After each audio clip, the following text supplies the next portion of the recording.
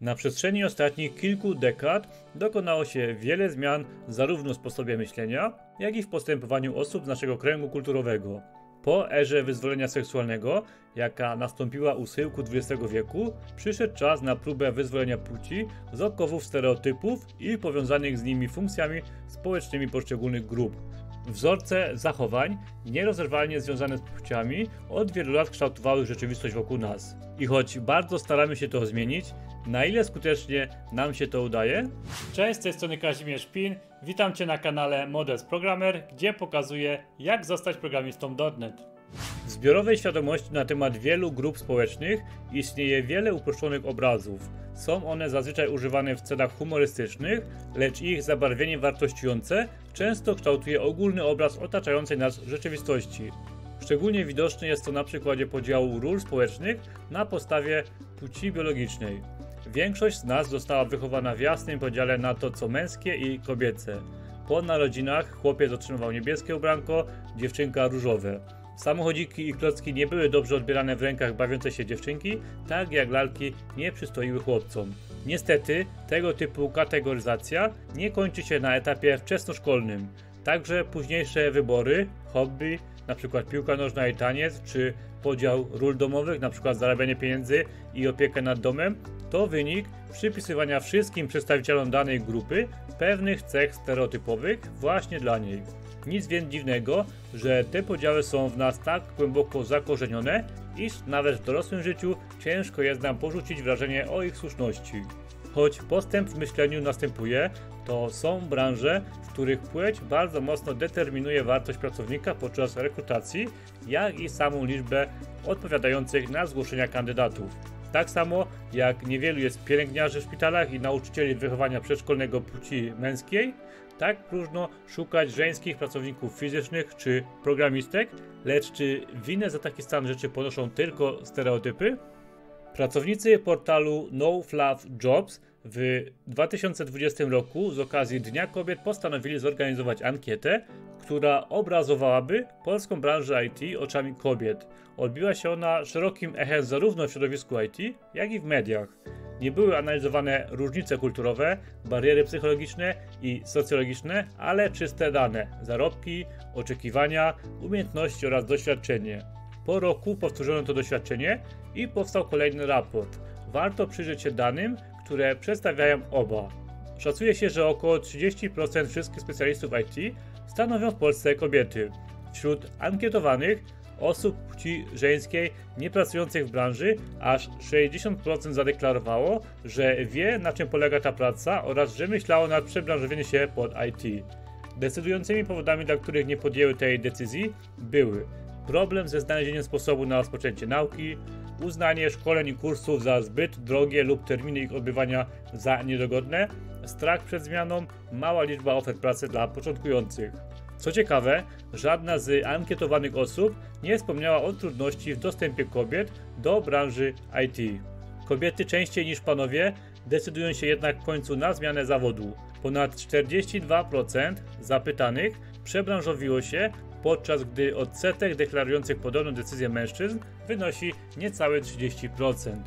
Ankieta wykazała, że programistki mają duże doświadczenie i świetne kwalifikacje. Większość z nich ukończyła studia informatyczne lub kierunek pokrewny. Wiele z tych, które zdecydowało się na przebranżowienie, zdobyła tytuł po kierunku humanistycznym, społecznym lub matematyczno-przyrodniczym. Według ankiety z 2021 roku aż 53% kobiet w IT ukończyło studia inne niż informatyczne. 22% wszystkich działających obecnie programistek samodzielnie zdobyło wiedzę, a 12% w wyniku ukończonego kursu. 19% podjęła się pracy w sektorze IT mimo ukończenia studiów niezwiązanych ze informatyką. Tylko 28% zadeklarowało ukończenie studiów o profilu informatycznym. Do języków programowania, w których kobiety czują się najlepiej, można zaliczyć C Sharp, JavaScript, Java, Python i SQL. Ankietowane panie deklarują, że dla kandydatek na programistki wymarzonymi kierunkami kariery jest praca w designie, testingu i frontendzie. W rzeczywistości podział ten wygląda nieco inaczej, a życie weryfikuje późniejsze decyzje. Największy odsetek, bo aż 16% ankietowanych, pracuje w testingu, po 12% głosów otrzymały backend i frontend. Najmniej specjalistek pracuje w działach embedded, security, gaming i IT administration. Jak wypadają te liczby w porównaniu z męską częścią branży? Okazuje się, że stanowiska kierownicze zajmują tyle samo pań, co panów. Funkcje menadżera czy kierownika obsadzane są w zależności od kompetencji i wiedzy. Nie powinien więc dziwić parytet w tej kwestii. Niepokojąca jest jednak dysproporcja w stosunkach doświadczenia do wysokości wynagrodzenia ze względu na płeć. Mężczyźni działający w branży IT na każdym poziomie doświadczenia zarabiają więcej od kobiet. Problem ten dotyczy jednak całego rynku pracy, nie tylko IT, a różnice w zarobkach są wskazywane m.in. przez Główny Urząd Statystyczny, Fundację Karoc, Instytut Badań Strukturalnych czy Europejski Instytut do Spraw Równości Kobiet i Mężczyzn. Jeżeli wziąć pod uwagę typy umów, to wśród kobiet niezmiennie króluje umowa o pracę. 70% ankietowanych programistek pracuje w oparciu o nią. Jeszcze więcej, bo aż 76% wymieniło umowę o pracę jako najbardziej pożądaną formę zatrudnienia. Porównując te dane z zeszłym rokiem, można zauważyć zmianę preferencji wśród pań. Jeszcze rok temu 66% wymieniło umowę o pracę, a 29% kontrakt B2B. W 2021 roku popularność B2B wśród kobiet spadła do 21%. Jest to dość niezwykła tendencja, ponieważ w branży IT kontrakt B2B był oferowany w aż 75% ogłoszeń o pracę w roku 2020 i był standardową formą zatrudnienia senior deweloperów. Co motywuje kobiety do rozpoczęcia pracy w tym sektorze? Według badania No Fluff Jobs zestawienie pierwszych pięciu powodów wygląda następująco.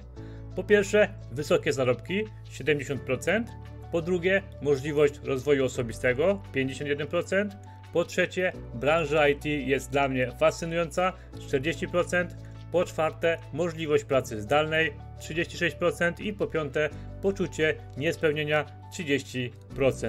Decyzja o przebranżowieniu jest w przypadku kobiet bardzo świadoma i podbudowana uprzednim badaniem rynku pracy. 35% respondentek posiada doświadczenie zawodowe i mają już za sobą wyróżnienia w postaci pierwszych awansów. Dla każdej osoby, która rozważa karierę w IT, te dwa zestawienia powinny być niezwykle pomocne. Jest to niejako doświadczenie poprzedniczek w pigułce.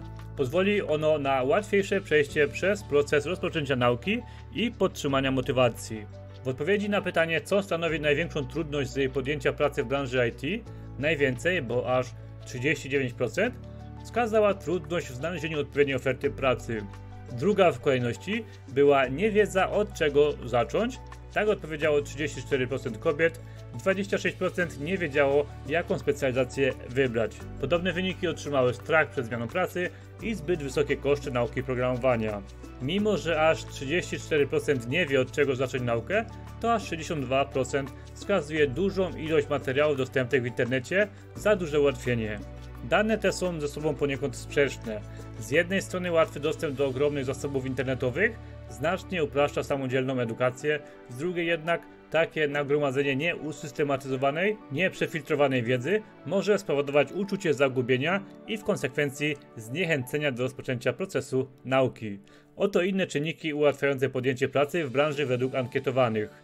Osoby, które już podjęły naukę w IT 38%, zwiększone zapotrzebowanie na specjalistów 38%, łatwość w przyswajaniu wiedzy 33%.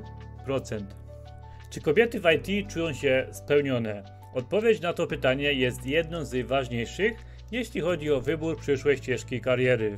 Motywacja płynąca m.in. z wysokich zarobków jest jednym z decydujących elementów podczas podejmowania decyzji, ale to satysfakcja płynąca z wykonywanej pracy sprawia, że zostaje się w zawodzie. 65% ankietowanych odpowiedziało twierdząco na pytanie, czy aktualna praca daje im spełnienie. Odsetek respondentek, które odpowiedziały negatywne, pokrywał się z ilością kobiet, które pracę ostatecznie zmieniły. Według raportu Kobiety w IT Niezadowolenie z poziomu zarobków znalazło się aż na trzecim miejscu w zestawieniu powodów, dla których programistki pracę zmieniły. Na drugim miejscu była nieodpowiednia atmosfera w firmie z wynikiem 18%. Na mocne prowadzenie wysunęła się potrzeba nowych wyzwań. Blisko 1 trzecia zapytanych kobiet wspomniało o tej pobudce. Warto nadmienić, że dla kobiet pracujących w branży IT wysokie zarobki zajmują dopiero drugie miejsce wśród największych wartości, aż 66% kobiet na pierwszym miejscu postawiło właśnie na dobrą atmosferę w pracy jako najważniejszą. Obecnie jest dużo możliwości, w jaki sposób najłatwiej przebranżowić się na programistkę. Myślę jednak, że najlepszym sposobem będzie udział w dobrej jakości szkoleniu online, które przygotuje Cię do tej pracy. Możesz w tym miejscu rozważyć dołączenie do szkolenia Zostań programistą .NET, w którym nauczysz się programowania od zera. Po ukończeniu tego szkolenia będziesz miała wystarczającą wiedzę, by podjąć się pracy na stanowisku młodszy programista C-Sharp.NET. Przyszłość kobiet w branży IT maluje się pozytywnie, choć nadal nie ma całkowitej równości w traktowaniu obu płci pod względem wynagrodzeń, to możliwości rozwoju i szansa na znalezienie zatrudnienia jest taka sama. W Polsce rynek programistów nadal potrzebuje około 50 tysięcy pracowników, a w całej Europie ta liczba sięga aż 600 tysięcy. Aby zrealizować zaplanowane projekty oraz sprostać wyzwaniom rozwijającego się rynku, firmy muszą otwierać się na większą liczbę juniorów w branży. Jest to więc idealny czas na rozważenie przebranżowienia i ewentualne rozpoczęcie nauki. To wszystko na dzisiaj. Jeżeli taki film Ci się spodobał, to koniecznie dołącz do mojej społeczności, gdzie będziesz również miał dostęp do dodatkowych materiałów i przede wszystkim bonusów. Link do zapisów znajduje się w opisie pod tym filmem. Do zobaczenia w kolejnym odcinku.